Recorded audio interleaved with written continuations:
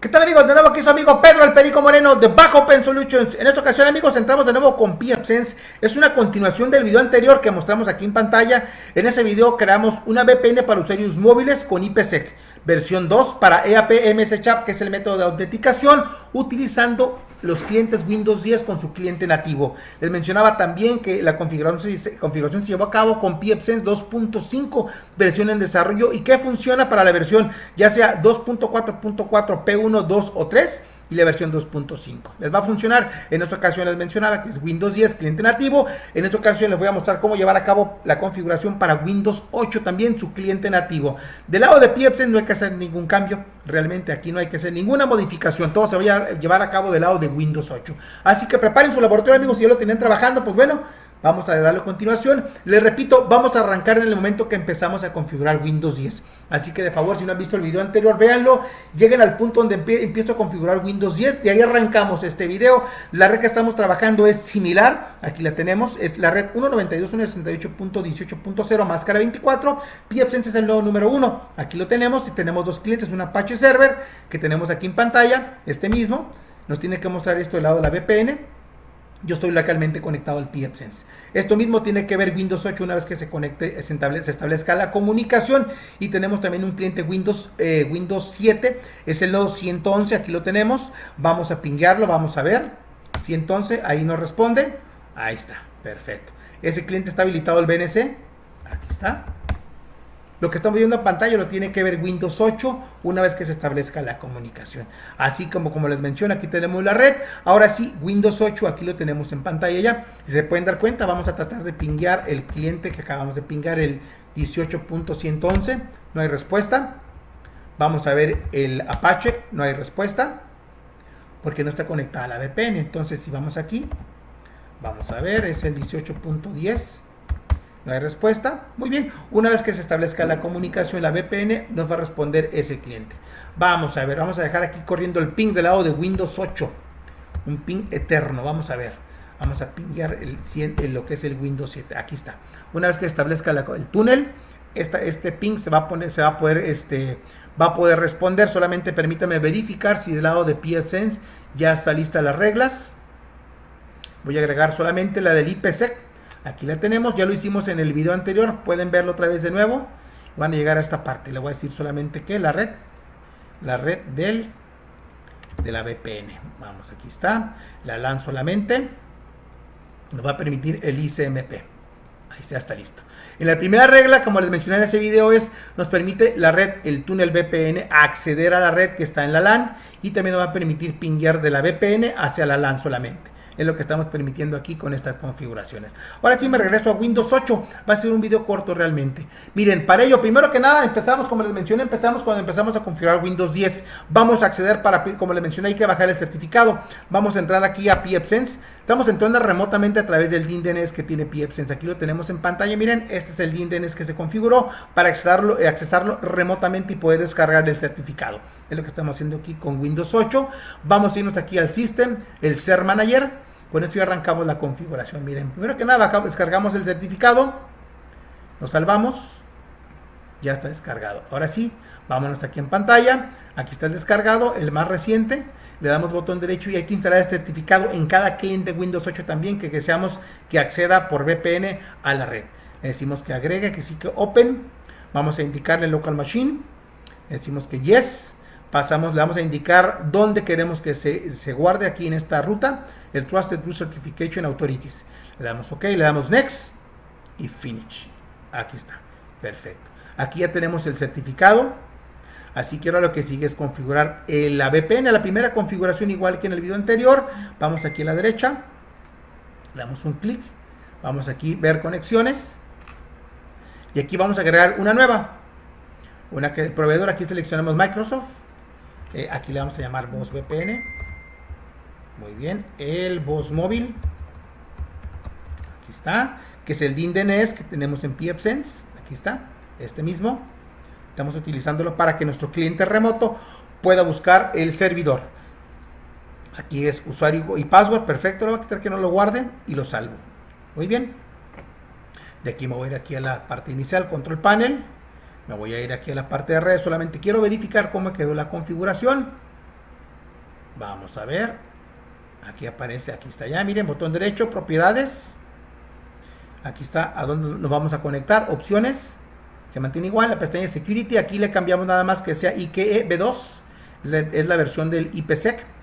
Eh, aquí abajo le seleccionamos igual que Windows 10, esta opción. Aquí abajo, miren, vamos a seleccionar la misma EAP MS Chat V2. Perfecto. Networking, acá esas dos, no hay ningún problema, no hay ningún cambio. Ya salvamos, ya está listo. Ahora sí. Ahora vamos a hacer un cambio más nada más. Miren aquí en propiedades. Aquí está, aquí está el secreto, ¿eh? En la IPv, aquí vamos a quitar la versión 6, no estamos utilizando la IPv4. Vamos a darle propiedades, aquí está el secreto. Vamos a ir a la parte avanzada. Vamos a, a deshabilitar esta opción. Porque aquí nos dice que toda la comunicación, de una vez que se establezca la VPN, toda la comunicación se va a ir a través de la VPN que es el problema. Recuerden que es una configuración con split DNS, donde el tráfico de internet del cliente remoto se va por su proveedor de internet y lo de la VPN por la VPN, como les dije ahí, lo de César al César. Es que deshabilitamos esta opción, le damos OK, OK y OK. Aquí salvamos, minimizamos, minimizamos todo. Aquí está. El pin sigue sin funcionar. OK. Perfecto. Ahora bien, lo que sigue es, vamos a configurar también, vamos a llevar a cabo el mismo comando que llevamos con PowerShell. Aquí es un comando que tenemos que ejecutar, igual que en el anterior video. Vamos a abrir PowerShell.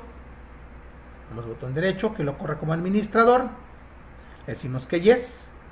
Y vamos a ejecutar el siguiente comando. Este comando, miren, para no meternos en problemas, aquí está. Aquí está este comando, eso que vamos a ejecutar. Miren, es el add más cuidadito porque eso no se traba aquí. Connection.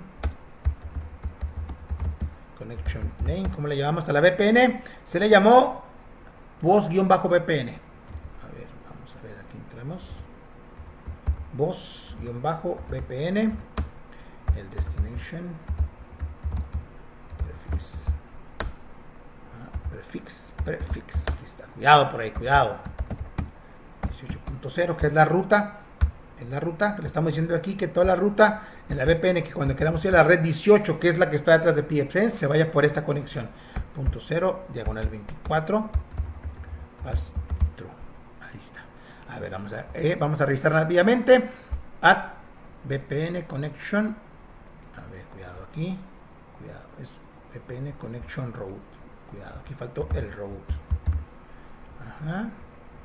Connection Name, voz-VPN, Destination Prefix, la red detrás de PFSense, le dan pastro.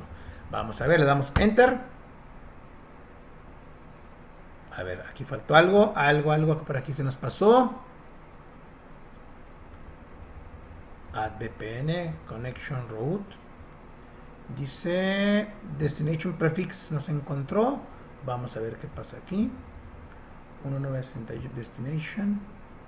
Vamos a revisar rápidamente. Destination, aquí está la palabrita. Destination prefix es el parámetro. Pass enter. Ahí está ya, perfecto. Se ejecutó bien el comando, ahora sí. Vamos a ver. Entonces nos vamos a ir aquí a la derecha. Botón derecho. Ahora sí, prueba de fuego, señores. Prueba de fuego, conexión. Vamos a utilizar el usuario Equesada. Equesada. Vamos a ver qué pasa. Dice que ya está conectado. Vamos a ver si es cierto. A ver, amigos. Vamos a ver aquí. Vamos a ver qué IP le asignó aquí a la conexión VPN. Details. 18.1 le, le tocó. Ahora sí, vamos a revisar del lado de PFSense. Como estamos conectados remotamente a PFSense, vamos a ver aquí en el dashboard de PFSense. Dice que está conectado un usuario.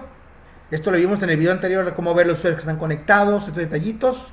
El lado móvil dice que está el usuario de Quesada con la IP 172.16.18.1. Les repito, si quieren ver por qué tenemos esta red ahí en, la VPN, ven el video anterior, ahí mostramos por dónde utilizamos esa VPN. Perdón, ese rango de red donde lo configuramos del lado de IPsec. Entonces aquí está conectado, vamos a ver estatus de IPsec. Aquí está la conexión ya armada. Ahora bien, recuerden que dejamos un pin trabajando. Aquí está, miren, el pin ya está funcionando, ya, está, ya estamos dentro de la red ya estamos, creamos un túnel con VPN. El usuario en este lado Windows 8 puede seguir navegando sin ningún problema porque es un speed DNS y también puede acceder a la red de PFSense. Vamos a ver, el Apache nos tiene que responder. Aquí está Apache, miren señores. Hace no respondía porque no estábamos en la red. Ahora ya estamos por VPN dentro de la red de PFSense a través de IPsec con PFSense utilizando cliente nativo de Windows 8. Ahora bien, vamos a ver si es cierto. Vamos a descargar. Aquí nomás se me pasó a descargar. Vamos a descargar el BNC el cliente para ver si podemos conectarnos al Windows al Windows 7 que está ahí en la red. Vamos a descargar aquí el BNC para conectarnos al cliente que nos está respondiendo aquí a través del ping, el 111. Acá en la red, detrás de, la red con PFSense sí podemos entrar. También con la, con la VPN podemos entrar sin problemas a, darle soporte al usuario por, a través de BNC. Miren, vamos a cargar aquí el viewer. Lo tenemos, a ver, vamos a ver. Aquí está, este lo vamos a descargar. Lo vamos a salvar. Vamos a ir aquí a su descarga. Esto lo utilizamos para darle soporte al usuario remotamente o también dentro de la red a través de, BNC. Vamos a habilitarlo, vamos a decir que sí. Vamos a ver si el usuario es el cliente en la red de atrás de la VPN o detrás de PFSense, es el 111. Aquí lo tenemos en el diagrama. Este cliente vamos a accesar desde usuario remoto, desde Windows 8. Vamos a cruzar internet, vamos a entrar a PFSense a través del túnel y vamos a accesar a este cliente que está aquí, el 111, a través de BNC. Vamos a ver. A ver si es cierto. Ahí nos respondió. La super clave. Aquí estamos, señores. Aquí está el cliente a través del túnel VPN con IPsec, a través del cliente Windows 8 que está conectado remotamente. Aquí lo tenemos. Desde aquí estamos accesando todos los recursos que están detrás de PFSense a través de IPsec con un túnel encriptado. Así que amigos, como pueden ver, ya vimos Windows 10, ya vimos Windows 8. Vamos a ver ahora qué pasa después con Windows 7. En esta ocasión pues ya demostramos que sí podemos llevar a cabo también un túnel VPN con PFSense e IPsec para cliente ya sea Windows 10 o Windows 8. Por ahí, si les funcionó este video tutorial, les ha funcionado, por ahí me gustaría en sus comentarios saberlo si les ha funcionado la configuración. De mi parte es todo amigos, aquí terminamos este video, ya vimos cómo configurar con el video anterior y este Windows 10, Windows 8 con IPsec y PFSense. Si se puede crear túneles para usuarios remotos. Eh, también por ahí, si les gustó un like, como siempre, bienvenido. Compártalo con sus colegas para que también ellos les sigan sacando provecho a PFSense. Cualquier duda, comentario, sugerencia, como siempre, aquí en los comentarios son bienvenidos. Les agradezco mucho y les mando un saludo de tu parte, tu amigo Pedro Alperico Moreno. nos vemos hasta el siguiente video. Hasta luego, amigos.